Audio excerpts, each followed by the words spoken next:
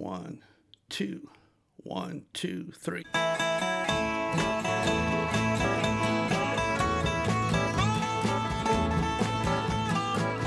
want to tell you about a story, a story of the Harper Valley PTA. I don't know if you remember that song and the movie from several years ago, kind of illustrating local government, city corruption, and some of those kind of things. Pretty rampant in America. I don't think any town is immune from all that kind of stuff. We have a little bit of that to include in tonight's video. I know this is an AQP channel, aviation, general aviation, but we got to make it entertaining, and I appreciate you guys clicking on this video just because of the thumb. Seriously, you clicked on this video because of the thumb. Look at the views off this thing. Just goes to prove my point, and I think FAA should hire me to be their chief marketing guy. Here's my FSDO poster that I made for them right here. And here's my banjo song.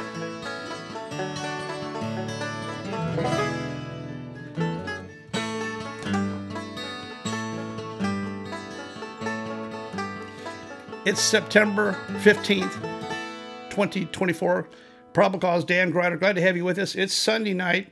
Glad to have you with us in the live chat room. Another production here. I'm going to try to cut to the chase and get this done as quickly and efficiently as possible. But we do have a little bit of catch up to do, a little bit of drama to do, a little bit of stuff. I'm going to get you kind of caught up on stuff here. I'm feeling good. My voice is good. My voice is getting better. I appreciate, I think I went through a little bit of a drug thing after the accident because of all the narcotics for the pain medication. I've been totally off of all that stuff for such a long time now. I've been on uh, honey therapy for my throat here to try to get a little bit of throat therapy going back again. Maybe it's working. I don't know. Probably be better if my throat totally did not work and I was never able to speak again. A lot of you would be very, very happy about that. My leg is fine. My next visit is October 10th for another x-ray. So far, I'm still on crutches and still in a wheelchair, which is fine. I'm in no pain. Everything's good. I got plenty to do. I got two big, big projects that I'm working on. One of them for sure well, actually three, if you include DB Cooper Part 3. Uh, that's another big project, but that's a little ways off. I got another big video project that I am working on. I think it's going to come out probably in the next two weeks. And you're not going to believe that. This is a national story. You're all familiar with it. You've all heard the story.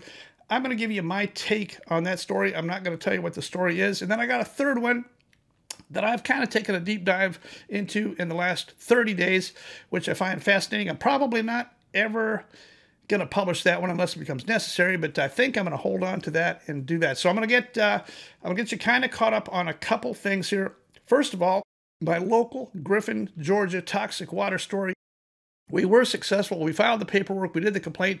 We forced the city of Griffin to do an assessment with Georgia Department of Transportation to figure out how many hangars were being illegally used. The answer was most of them. GDOT came down uh, and sided with FAA and said that the airport had to either do something or close it down or something. So they forced their hand. The problem with Griffin and Spalding County is they don't have the money to kick in for the new airport. This entire move the airport project that they've had on the table has been going since 2006 every time it comes time for the county and city to kick in their part of the money, there's the problem. They can't support it with a tax referendum. But now, at this point, because of my efforts and the data that I showed and the survey that was completed via GDOT, they have forced their hand. Either pay the money back, uh, the grants and assurances money, or gather the money and move the airport. And now they're saying that this new airport is going to be open by the year 2029. I doubt it, but we'll see. At least I got a ruling on this thing. All the illegal uses of those hangars and the toxic water problem down there is legit. Um, they they got their hand forced on this. They're gonna have to move this airport. They're gonna either have to pay it back or move it. So far, they have chosen to spend the money and move it, and I'm uh, very happy for that. I appreciate all your support on toxic water. I've been kind of silent on it for a little while while I got the paperwork and got the results and got some actual substantial data to show that. Uh, but we're all good. If you Google it in the newspaper, you'll see that uh, the airport is now moving forward towards moving the airport, in which case it's going to make our current hangar location at Griffin, Georgia, an industrial park, and that's how they're going to solve that problem. Let's go on and talk about Charles Cook. I haven't talked about Charles Cook and that whole thing, but uh, let me give you a very quick, brief update. Um, a $1.2 million default judgment is ridiculous. I appealed that on the basis of eight different ways. I'm going to file that appeal brief in my uh, AQP and Coffee page. There's a Facebook page called AQP and Coffee. I don't manage it or own it, but I have the capability to uh, file a document there. It's a PDF. I'm going to show you the PDF, and it's going to be stored on AQP and Coffee. You have to become a member or join AQP and Coffee, and then you'll have access to that PDF. But that's the that's the brief that we filed concerning this judgment. So here's the story. The default judgment was given $1.2 million for defamation against Dan Gryder as an individual. I hired an attorney firm. They did an excellent job. They filed what we call an appeal brief. That got filed in May. The opposing counsel had time to file a reply brief and argue in writing what was in that brief. After that, our side, our firm, had a chance to give our reply to the reply. So there's now three PDFs in here. I'm going to show you just a little bit of um, documentation from the second one. This is their reply brief to our brief. And here's what it says. Expert Chris Smith's expert report was admitted into evidence showing reasonable damages of $152,000 plus an additional $18,000 in cost to undertake an advertising campaign to repair appellant's reputation. Now, that's money that they say that they spent to repair Charles Cook's reputation. How do you spend $200,000 to repair a reputation? Like, what did you do? Take out TV ads or, or what? I don't know how you spend money to repair a reputation. Let's go on and read the rest of this thing. It says, uh, this guy, this uh, Michael Edward Savage, William Michael Edward Savage, a former member of the FedEx uh, Pilots Union and an accident investigator, testified that appellant appellant's defamatory statements foreclosed Mr. Cook's ability to retire from being a pilot and serving on the FedEx Accident Investigation Board. So, me publishing one video when I had 14,000 subscribers foreclosed his ability to retire and kicked him off the Accident Investigation Board for an accident at his airport which he claims he wasn't even at. Like, how is that possible? Let's read on here. Mr. Cook testified, Mr. Uh, finally, Mr. Cook testified that appellant's defamatory statements resulted in loss of hangar tenants, business opportunities, and profits, as well as damaged his and the airport's reputation and his career opportunities with FedEx. Well, let's talk about his career opportunities at FedEx. He's at the end of his career with FedEx you don't really have a career opportunity at the very, very end. And I'm going to show you the timeline here in just a second on what this thing happened here. Mr. Cook also testified that he spent at least $12,000 trying to repair the appellee's reputation by providing lunch on Saturdays for airport tenants and local aviation community members. You're going to spend $12,000 to buy lunch for people so that they'll like you? I'm I'm not understanding that, but I'm just saying, here's the document. Uh, this is First Amendment free speech. I don't understand. Let's go on and take a look at this next document here. I'm going to show you Mr. Cook's medical. Here it is. Doesn't look like anything special here, except if you notice, the date of his last medical was March of 2021. So now I'm going to show you the timeline here in red. In March of 2021, Mr. Cook does his last first class medical, and it's only good for six months. In August of 2021, this is when the Cook's fatal plane crash killed the two. In August of 2021, Charles Cook's first class medical expires. It's only good for six months. Now, in July, in their reply brief, July of 2024, Charles Cook claims loss of FedEx career in July of 2024 for an accident. He hasn't had a medical. He can't get a medical. If he could get a medical of any kind, he would. I have a sneaking suspicion why there is no medical here, but you can't get a medical under certain conditions. This is true for any pilot in America. You have to have certain conditions met to get any class medical. The fact that there's been no medical since March of 2021 is a, a huge clue here. Let's go on and take a look at the next one here. I'm going to put it on the screen here for you. This specifically says Appellant, appellee agrees with appellant regarding the fact that appellees have burden of proving actual damages. Now, this is their side writing this. I find this shocking. They're saying that they agree with me regarding the fact that appellees have the burden of proving actual damages. Well, you got to have actual damages. Let's go to the bottom of this. Even so, evidence of loss of reputation should be more than theoretical. You got to have something on paper. You can't just have somebody testify that they think you lost a lot of money. You got to have accounting, QuickBooks, documentation. You have, have to have a CPA statement and show uh, a five year loss in in something. They had none of that. They have testimony from people who said that they think he lost money. Well, how much money? How much is damage to your reputation? Remember, in a civil case for defamation, there is no punitive damages. You have to have actual damages, and they agreed with me. Appellee agrees with appellant regarding the fact that appellees have the burden of proving actual damages. Here's the last one I'm going to show you here. This says, first, comparing the facts uh, with those present in the case shows the appellees are not limited purpose figures. Here, unlike the plaintiff, in WFAA TV in the record shows that Mr. Cook was not present at the scene of the incident. He maintains that he was not present at the scene of the incident. However, I think he was, and we're about to find out. And who was the first to reach the wreckage after the plane crashed in that driveway and they're both dead hanging in that airplane. Who was the first one there to hop the fence and run across? Who was the first one there? All right, so on the day that this thing happened, this guy here is the guy that came over here first, you think? Ran across the street? I think so, yeah. Okay. All right, yeah, that's uh that's Charles Cook. He's he's the owner of the airport. So, um, how many people came over here with him then? Um, I think three. Three? Okay, good. Yeah, that's what you told me before. And then, uh, how long was it until like ambulances and stuff got here? Like a long time after? Yeah, it was like 20, 30 minutes. Really? Yeah. A long Right. But uh, but those first three guys were the first one, first ones here. Yeah. Okay. Before the ambulance got here. Yeah. Okay. All right. Sounds good. Thank you very much. I appreciate your help. All right. Bye-bye. Bye. I'm going to go on to a new topic about a new airport. I'm not going to say where it is or who the commissioners are or who the airport board is or who the airport manager is. This is another airport someplace in America. However, the airport manager is very young female that knows nothing about airplanes, is not a pilot. And here's her listing. Here's her bio explaining that she is the person that uh, clears airplanes to take off and land. She controls air traffic at her airport. I had a phone call with this individual concerning the subject that I'm about to tell you about.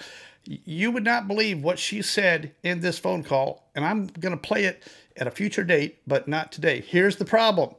This airport has a tenant who is an A&P and an IA, does general aviation maintenance, an excellent guy, does excellent work on general aviation airplanes. He has a hangar, and he has been there for a long time. Um, the airport allowed somebody to build a 100 by 100 hangar just three feet to the side of him. However, that person did not get a permit. They didn't do a site survey. They didn't do an elevation. They didn't do any studies. They didn't get any of the proper approval from the airport. They just scratched out a pad, poured concrete, and put this hangar up. After the fact, the city and the county gave him a certificate of occupancy, although he had not followed any rules. All that's well and good. So what? The main problem now is that when it rains, the water flows downhill and flows directly into this other guy's hangar, and he has had to live with this water problem. City, county, and the airport will not do anything about it, even though they're fully conscious of it. I'm going to show you a video of this right now. This is water four inches deep in his hangar every time it rains. How would you like to work on airplanes with four inch water on your hangar floor every time it rains? It's all because the city allowed this hangar to be built. It was not proper at the time. City and county and this airport need to take some culpability for this entire thing. These airport commissioners, there's three of them. I'll show you their pictures. One, two, and three. This is Harper Valley PTA, and there is some funny, there's some funny business going on here.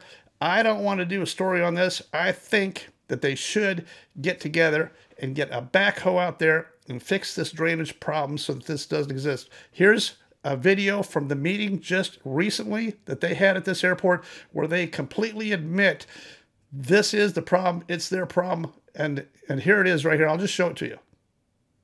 We'll find out for sure during the investigation.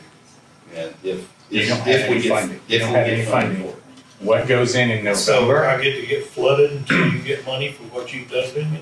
That's what it sounds like right now, yes. I get to get flooded until you get money for what you've done to me? That's what it sounds like right now, yes. I get to get flooded until you get money for what you've done to me? That's what it sounds like right now, yes. So it's another Harper Valley PTA situation. I plan on spending a lot of time. I'm going to go up there and go to meetings. I'm going to shoot video.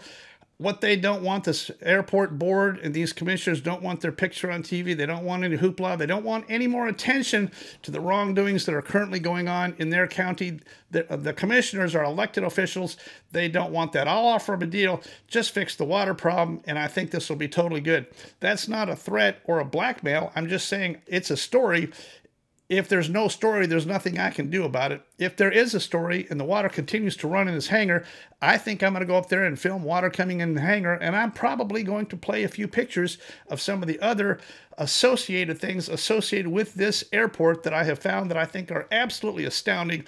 I don't think they want that stuff out there. I think you ought to get a backhoe out there and just fix the problem Mr. Commissioners, and that would be very, very easy. I've got other things to spend my time on. However, I will get riled up over this one. This is a mechanic and an A&P who's trying to do a service for our general aviation community, and you guys are asleep at the wheel. Let's go on and talk about the next one. Uh, back to general aviation. You know, I got informed last week about an FAA wing seminar concerning the impossible turn.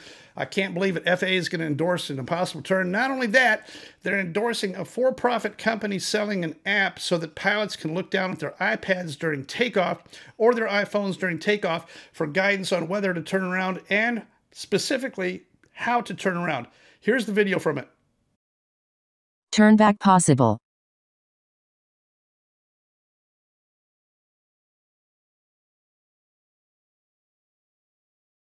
I find this incredible. This is this is an airplane at a 45 degree bank at 200 feet, following iPhone guidance on encouraging people to turn around. FAA, you got to be kidding me! How many people have we killed? This is this is the annual Dick McSpadden Award trying to turn around. It doesn't work. Look at the amount of space straight ahead. You have an engine failure, go straight ahead, land the land the airplane, open the door, and call me. It's easy. Trying to turn around to the airport for what? Let's look at the very end of this video. Let's look at how steeply he's banked over the runway. Now he's landing in the last 1,000 feet of this runway. FAA, I don't get it.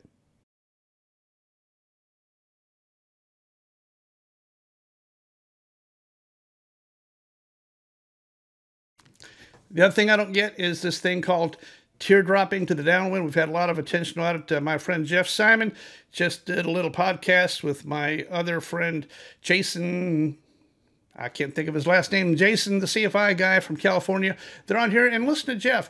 He's talking about the amount of chatter that um, has to do with this teardrop to downwind. Well, what's happened is that ForeFlight has drawn a magenta line on iPads for these young students, showing them how to enter the downwind pattern when flying overhead and entering the pattern.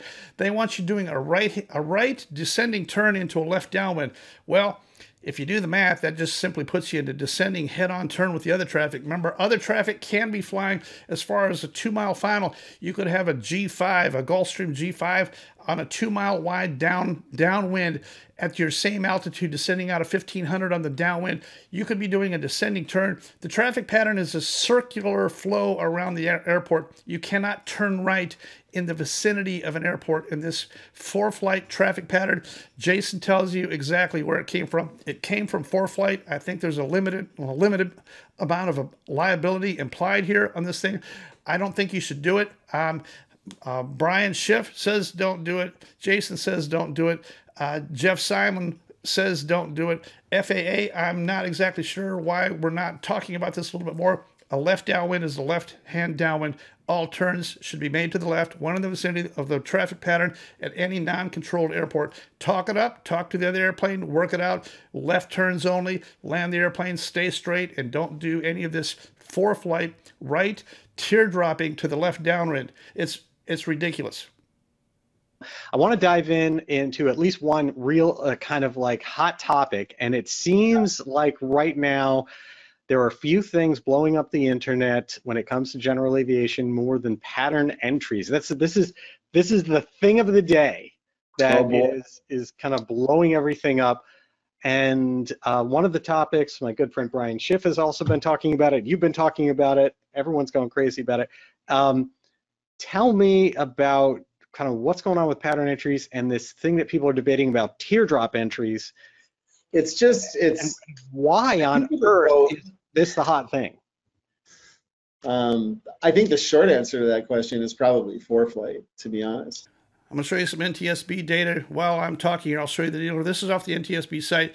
I just picked out this random thing. In the last three years, guess how many aviation accidents, general aviation accidents, the NTSB has been involved in? Well, here's your answer right here 3,241 accidents that they have investigated and uh, and worked on and got a docket and done all this stuff. 3,241. This is just in the last three years, ending up at the last day of December 2023. How many recommendations out of 3,241 accidents that they've spent money to investigate? How many recommendations? One, only one. They're not telling us what to do. We're not fixing anything. They're hoarding the data. We don't get any better. The one recommendation that they did do, uh, beat up the FAA pretty badly. This is the Marpat. Huey, November 9 8 Foxtrot that killed all the people up in West Virginia just a few years ago. Turns out your FSDO had no idea these this helicopter operation was completely illegal. They were selling rides, they were they were doing training, they were doing everything. They didn't have an operating certificate. They had no letter of authorization. They did not have a ride exemption. They didn't have any of that stuff right under the watchful eye of the local FSDO. And here's your recommendation from NTSB about the FAA. The FAA was asleep at the wheel, had no idea that this was even going on. This helicopter, bad maintenance, it lost an engine, it crashed onto the highway. Everybody dead, horrible crash. And out of 3,241 incidents, this is the only recommendations we've seen in the last three years. It's totally amazing. NTSB, what are we spending our money on? I think they were spending our money on investigating Dan's Lockheed crash. I finally got my GoPro back. Here it is right here. Thank you, NTSB. And I want to also mention, I'm going to do a little bit video on this a little bit further on, but the tail wheel, locked or unlocked, makes no difference to me or Glenn. I prefer on grass to have the tail wheel unlocked. I did not know what the position was. We did our before takeoff checklist. We were very careful. I videotaped it. We were very careful to assume that all the killer items are complete and verify those. Tail wheel locked or unlocked. And I want to make this very, very important point. If the tail wheel had been locked and we had touched left brake and had no right brake, we still would have gone off the runway. Tail wheel being locked it's a tiny little tail wheel in a 12,000 pound airplane. It is not going to keep you on the runway. Tail wheel being locked will not keep you straight. Would not have done anything except make our veer to the left slightly less angle, which would have put us into a fuel farm. With the tail wheel unlocked, if it was, I think it probably was, with the tail wheel unlocked, we went left towards the bushes and happened to dead center a tree. I'm glad that it was unlocked because if it had been locked, I think we would hit that fuel tank and we'd for sure all be dead right now. Tail wheel locked or unlocked on the Lockheed or Beech 18 on grass makes no difference. I've flown both of these. I used to own a Beech 18. I prefer on grass tail wheel unlocked for sure. I have much more control and I don't want that thing binding or getting in my way. I have brakes and I have rudder. That's how I control where the tail wheel goes. I'm the pilot command. I'm going to make that tail wheel go where I want it to go. I don't want a tail wheel locked on grass. Long straight taxi on pavement, maybe. It's a nice feature, kind of like autopilot during taxi. Helps you keep it straight a little bit, but for the rest of the time, I am not a fan.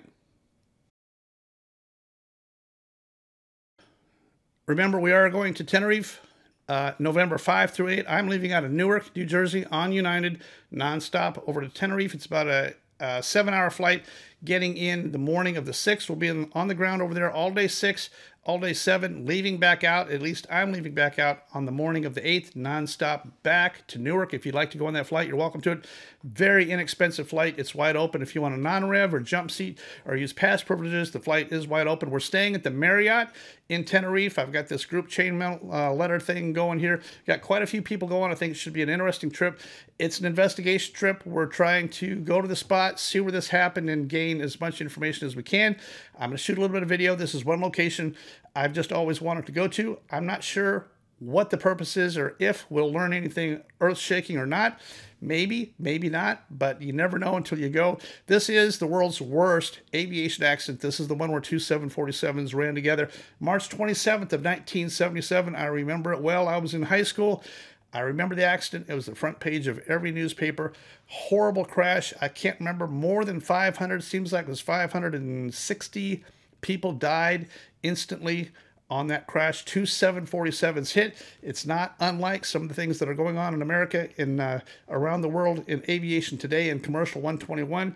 So many close calls once a week, another close call. It's only a matter of time, in my opinion, till we have another Tenerife in America, either a midair in the sky or a collision on the ground or two airplanes get together. It's happening all the time. I don't know if you follow VASAviation, he posts most of those. I don't even have time to follow all of them now. It happens so often. It's this is 121 carriers. This is your commercial airlines having very near close calls. It's almost always controller error. Almost always controller error, and there is no brasher for the controllers. Nothing's going to get fixed. They're hiring who they need to hire based on race, sex, color, and sexual orientation. That's what they're doing, and I think that's what we're going to see. I I brace for impact because, in my opinion, it's only a matter of time. In order for this industry to prosper and to continue to prosper and to go the way it's going, we have to create more opportunities for diversity and allowing more people in. I'm going to try an experiment tonight after this video. If you're still hanging around, if you're in the live chat, give me a yes if you can. I'm going to put this on the screen. I'm going to do a Zoom, I'm going to give you the Zoom meeting ID and the passcode if you'd like to join this Zoom. I've never done it before, so I'm not sure how many people can be held in this room because I don't have a commercial Zoom account. It's only good for 40 minutes, I know that, but I want to do this as a test if you have Zoom and have the chance to, to jump in there, this will enable two-way communication where we can actually talk. I can give you the mic and you can talk. I can we'll put your picture on the screen. This is an informal Zoom. I'm not sure how many people, but uh, here's the meeting ID and the passcode. This this meeting will commence just a few minutes after tonight's Sunday night probable video closes. I appreciate that. I'm hoping I get a few people will jump in there and help me test this concept. If it works good, I think we're going to do a commercial account and do a uh, group AQP meeting every now and then. I would like your opinion. I'd like to hear from you. I'd like to give you the microphone so we can see who you are, uh, where you're calling from, where you're checking in from, what your experience base is, and what your idea is. A lot of you people out there have some really great ideas, and I have absolutely gained so much from listening to people on uh, comments and in the text and all those kind of things concerning these videos and this AQP and my general aviation mission of reducing the general aviation fatal accident rate. I think this is going to be a fun time. There it is on the screen one more time. Zoom, there's the meeting ID, and there's the passcode. I hope to see you there and uh, join us here as soon as this uh, video is over. Um, I did a I did my very very first AQP flight review since the Lockheed crash. I did it uh, the first of the week, a week ago. A guy named Howard, friend of mine, came down with his A36 Bonanza. Long time uh, Bonanza owner. I made a mistake in the video that I shot with him. I said he's owned that airplane since 1990. Not true. He's owned it since about 2000. Very experienced. Been flying a lot, taking a lot of courses, but this is his second AQP flight review. Even after his second one, Howard learned a lot. And I'm not saying that there's anything wrong. I think I think Howard is an absolute classic good pilot, wants to learn, but even after all of this, there's still some classic mistakes that Howard made and some improvements we were able to make compared to his very first AQP General Aviation Flight Review that we did well over a year ago. I did this concluding video with him. It's very, very short, but I want you to listen. Here's me and Howard discussing his AQP flight review. It's my first one since my accident. And yes, I'm legal to instruct. I don't have a medical right now. I'll have a medical back here in the very near future, but because of my leg, I, I don't have a medical, but I can fly. I can instruct without a medical, and that's what the situation was here. Here's my interview, my closing interview with Howard. Down here today with Dr. Howard. It's a doctor with a bonanza. Yeah, you know what that means. Doc Howard's in for his second AQP flight review, which we just finished up. It's been a little over a year since we've flown together. Yeah. Just in review, what was your what was your take? We've been in the air and doing ground school kind of off and on all day here today. What was uh, what was some takeaways for you off of what we did here today? Some some things that uh, yeah. maybe needed refreshing that, that we kind of beefed up a little bit. Well, this, like anything else, requires practice because, you know, the year more that had been since we first did it together, you know, there were the maneuvers, uh, or not the maneuvers, the procedures that we did that really needed refreshing. In particular, I think uh, the one that I didn't appreciate enough is when you totally lose engine power on the climb out of an airport in a Bonanza, you've got to get that nose down. And it's a concerted effort to get it down, and you have no time to do it because one of the uh, things that we did is I waited two seconds, and in two seconds, that airspeed was below 80. Oh yeah, it it went away quick. Yeah, For yeah. sure. So it has to be an immediate reaction, which is the whole point of AQP. Yep. Well, here's what I saw. We we worked on and cleaned up your procedures, your checklist, power plant start, after start checklist, before taxi checklist, all those procedural things. I beat you up hard on those, gave you suggestions for really ways to bulletproof yourself. Mm-hmm. On takeoff, we talked about RTO, we did a rejected takeoff, and then we did five rotats in a row. That's a reduction of thrust, mm-hmm. even knowing about where we're where we're supposed to head to this thing. Mm-hmm. Notice it took three or four to kind of get fine tuned on how we're going to handle a rotot, which is a reduction of thrust on takeoff, where we mm-hmm. can't get back to the airport. Right. Then we did a couple up high. We went to 4,500 feet, and I killed the engine up high. Notice we did a total of four of those. Four, right. And it took several to get energy management planned and figure out how to do that. So it just takes rehearsal. You're a good pilot. You've been flying the Bonanza a long time. You've had this Bonanza since 1990. But notice if you'd been given that situa- situation, especially that uh, very 1st low tot that I gave you, uh, that we were low to the ground. That that was. I wish I had that on video, but that's Right. kind of what I see Yeah. on those. Uh, speed goes away so quickly. You really, really have to um, be ready for it to happen, even though it, may not happen. Yeah. You just got to assume that it's going to happen.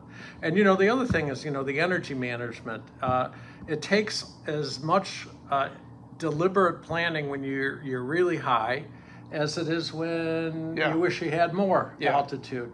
Because the whole idea is you got to get yourself into the position Yeah. so that you can make that routine landing without power. And I hope I underscored enough. Don't be afraid of an off-field landing. Land it, gear up, full flaps someplace. If that's the best shot, if that's your sure shot, take it. You might be able to make it back to the airport, but you might not. If you've got pure gold in front of you, put the flaps down, land the airplane, and call me. Forget it. it it's over. It's it's not worth attempting with a sick engine to make it all the way back around. No, absolutely. You know, um, it's not, uh, it's ridiculous. You know, the minute that happens, uh, there are two things. Number one, you, you fly the airplane. Number two, you uh, say the airplane now belongs to the insurance company. And number three, I'm going to put this thing down, open the door, and call Dan to buy me dinner. I'd love to buy you dinner. I, I Yeah. sure would. Yeah, Yeah. that would be that would be that'd be good. But I hope more people will uh, will hear this and under, understand uh, we we beat you up hard all day today on all those things. This is a flight review. You get signed off for a flight review, but notice we didn't do a single steep turn. Right. You know, Yeah. you know how to do a steep turn. Yeah. I'm only giving the things that are definitely going to happen to you out there and fix all that stuff. So, I couldn't recommend it a lot, and you know, uh, I'm, I've, it's only been a hobby for me, but I've been doing it for about 50 years. Yeah. Uh, I do fly regularly, but um, it's uh, th- there's there's no replacement for for doing what we did to keep you really on top of the ball. Yep. And think about those, uh, even when I'm not in the seat, use your best planning. Be ready for an RTO, be ready for a rotot, be ready for a low tot. If you're flying along up high, be ready when that engine starts to balk to do your items, lower the nose and pick you out someplace that you're going to go.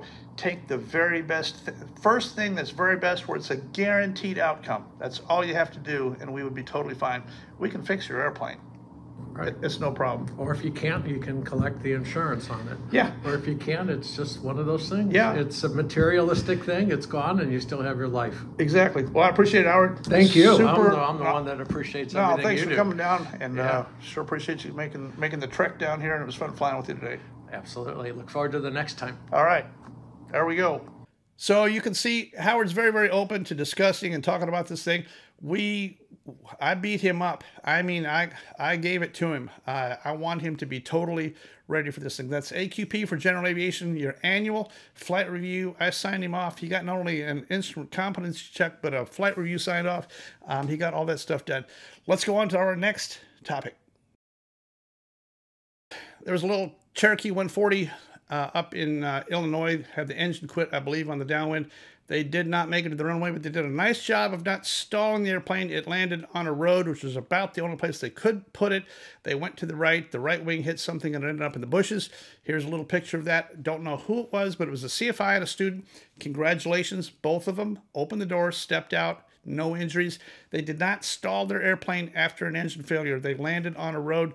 Um, landing on a road is is dangerous, but it was I think it was from that position it was their only choice. Should they have been a little bit closer and stayed within gliding distance of the runway? Maybe. I can't second guess that. All I can say is this is what happened. It's a Cherokee 140.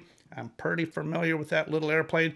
Good job to those guys because they're able to live and fly another day. Let's go on and take a look at our September data. I'll put it up on the screen here right now. This is September of 2024 and I've already gone over a little bit, but I want to pay attention to the very, very first one on September 1, November um, 2 3, Bravo Delta. This is a Citabria out in Wyoming, and I just found out this was an ash spreading. The lady in the back seat that died, she was the passenger. She was spreading the ashes of her husband, and that's when this airplane crashed. The next one, 223 Charlie Lima, that's that Apex. David Bauer, 50 years old, the trike. I still don't know very much about trikes or this particular accident.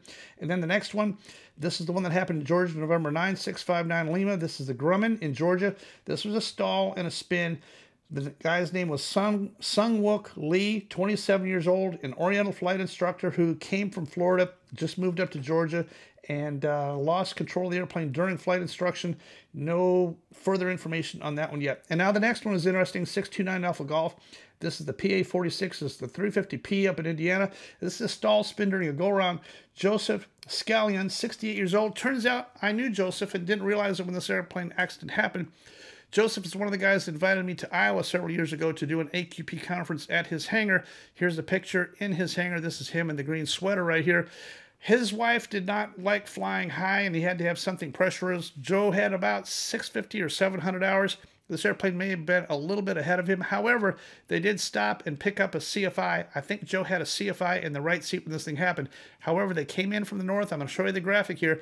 They came in from the north. The tower told them to go around because they were hot, which means they're high and fast. They tried to go around. The wreckage ended up to the southeast of the airport. I'll put this graphic on here. And I had a friend of mine fly over the crash site. Here is the crash site as photographed from the air. This is a right crosswind steep pull up, and the wing lost lift. This is a crazy critical wing on this airplane. Um, it it does not hack high G. This is basically an accelerated stall during the go around. I think the gear was up, and I think they had full power and nose up, and pulled hard and turned to the right. This is a non-stabilized approach. They should have smelled this coming a long ways away. They should have ended up on a five-mile final, stabilized checklist complete on the LPV path, gear down and ready to go. You don't need to come flying in here 30 knots fast, clean, and gears not down, and checklist not complete. I think that they were just high and fast and way, way, way behind the airplane when the tower instructed them to go around because this obviously is not looking good. All right, I'm gonna put the screen back up here again. This is the next one. We've already talked about this. This is the Boeing PT-17. It's an engine failure. I believe Chris Paulson, 72 years old, he did survive. His passenger in the back seat did not make it. And then the PA-28-180 in Connecticut. What a heartbreaking story here. I have no idea. Paul Palletier Pelletier, age 55, went on a Sunday morning to give a ride. Uh, this is a very young high school student interested in aviation. Total of four people in the airplane. They flew to this location for a Sunday brunch. Nobody saw the airplane take off. Nobody saw the accident happen. There's no witnesses or no cameras. They didn't even find the airplane. That airplane didn't even get reported missing till 10 o'clock that night, and they didn't find it till about 1 a.m. It's a stall spin. It hit vertical. No idea why or or what it was, but this is most likely, in my opinion, probably a loss of thrust or some kind of a problem. Highly unlikely that they had any kind of a flight control problem. There was no weather. There was there was nothing else going on like that. They did not get gas. They flew up there to that airport. They, they could not have been heavier than what they flew in. Simply a stall or some kind of a problem after takeoff put this airplane vertical into the woods. Took a long time and a drone to find it. Our deepest respects and condolences to that entire family and friends in Connecticut. A horrible loss for four people and the lives and friends associated with that plane crash. So senseless. And I can tell you firsthand, I have the experience. I'll show you the scar. I've been in a plane crash. It's not fun. Uh, this one probably was painless. They probably never felt a thing. I think we should take a concerted effort to avoid being in a plane crash. I can tell you it's excruciating pain. You don't want to be trapped in an airplane, hurt and damaged. Take preventive measures wherever you can. Do AQP training, conditioning. Are you ready? Are you ready for that engine failure? Are you ready for that rotot? Are you ready to go straight ahead and put it in an open field? Are you ready? I hope that you are. I hope that we learn from some of these tragic fatals that we're seeing. Here's the next one up here on the screen. This is November uh, 966 Delta Pop. This is a Sonex up in Indiana. The guy's name was David Province, 82 years old, on takeoff. Lost control, flipped it over. It ended up upside down. The airplane was not damaged too badly. Here's a picture of it. It wasn't damaged. I think he probably asphyxiated from being upside down too long before they could get to him and get him out. He was 82 years old. I think he probably suffocated from being upside down. Couldn't get him out in time. And uh, here's his obituary. Uh, farmer, uh, longtime Indiana resident, uh, excellent guy. Everybody liked him. A horrible loss on a tragic uh, crash scenario up there, a simple loss of control on takeoff. Then the very last one, um, I'm sorry, the second last one is this Bonanza down in Louisiana. This is a low-tot Greg Manuel, age 73. He takes off from four left at Lafayette, has his engine failure, and he stalls spun. This is the exact same scenario I gave to Howard so many times. And on Howard's first one, when I gave him his engine failure, he pulled. He did, actually he did not lower the nose in a timely fashion. He didn't pull. Howard didn't pull. He just didn't push. You have to consciously really lower that nose in an A36 or that speed is going away. Once it's gone, that thing spins. It hit this airplane down Lafayette, uh, hit on the golf course. It was a fireball. Fortunately, nobody on the ground got hurt at all, just the loss of one. The guy in uh, Louisiana was a great guy, David Manuel, 73 years old. He was a home builder and uh, a a loss for the entire community down there. And then the very last one, November 8, Charlie Kilo up in Alaska. This was Danny Presley, 70 years old, had two people on the airplane, another Cetauro. All they said was that it was flying in weather. There was terrain. It was weather related, probably fog, low vis, maybe even spitting snow. It's that time of year in Alaska. I know very little about it. I'm sure we'll get more data as time goes on. Another loss of two lives in an aircraft up in Alaska, pushing the limits on weather and terrain and flew this thing into the terrain somehow up there. We know very, very little about it. I'm uh, that's really all I can say about it because I certainly don't know. I'd like to say thank you for those who are supporting the DTSB. I'll put this, we are a 501c3. I'll put this on the screen here right now if you want to send a check. Here's a few people who have sent a check along with a note. I'm probably going to start playing those notes as they come in. Send a check with a note. I'll put it on the screen. If you want your name up there, if you don't, just leave a note that you don't want it on there. Very, very nice. Uh, donations have been coming into the DTSB. We've now got probably seven or eight thousand dollars from the DTSB fund. I'm going to use that to travel. I have that fund available that I can get money from that for travel. That's not obscene expenses. That's recovering money for a hotel or a meal or something that I use to go and speak and do AQP on the road like I have always done. I've just never had any financial support at all. It's still the same. I'm still going to go do it. I'm about ready to uh, relaunch going out to do that. My deal is, is that after I go out there, if I had to spend any money of my own, I can keep the receipts. I can apply for a refund from the board. The board will vote whether or not to authorize a refund based on my receipts, my reasonable receipts for money spent, and that's what the DTSB fund is, is for. Very happy with the board. Matt Evers at Evers CPA in Nashville, Tennessee. The money goes in there. Dan can't touch it. It's all good, and I, I really love the concept. It makes me feel a thousand percent better about going out on the road knowing that I'm going to get compensated and reimbursed for expenses that I had to spend to get a meal or a place to sleep, maybe on the road, even though I don't really need a place to sleep very, very often out there. Normally, I got a hangar or a home or a bedroom or somebody, something in somebody's house. Uh, so everything is always very economical. If you'd like me to come to speak to your chapter, your club, whatever, uh, send me an email. I am now open to booking some of those things coming up in the future. My leg's going to be okay. I'm going to be okay to travel.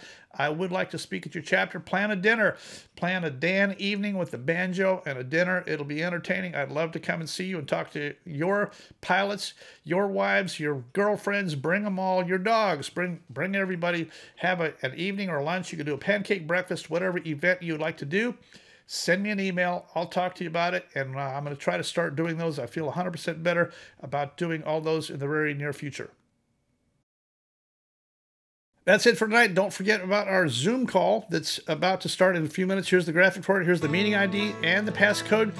I have no idea how many people I can let in there, but uh, tonight's a trial night. We'll just have some fun with it. I'd love to talk to you on Zoom.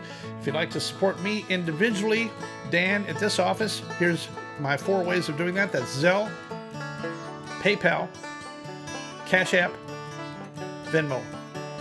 I appreciate your one or two dollars support for these videos. A lot of you have done that, and I thank you very, very much. There's a lot of people that uh, every week will Venmo a dollar or two or something like that. It's not a get rich quick thing, but there are always at least 50 people that will, will Venmo or, or, Cash App a dollar in, and I appreciate that. That goes towards a lot of my uh, expenses and trouble to make these videos as well. Let's uh, get over there. You can hear the music playing right now. This is the Harper Valley PTA, and I hope you'll appreciate this little guitar thing that I did on this for tonight. I pulled out the guitar and the banjo and made this song. My tiny little itty bitty fledgling YouTube channel, Dan Gryder. Probable cause.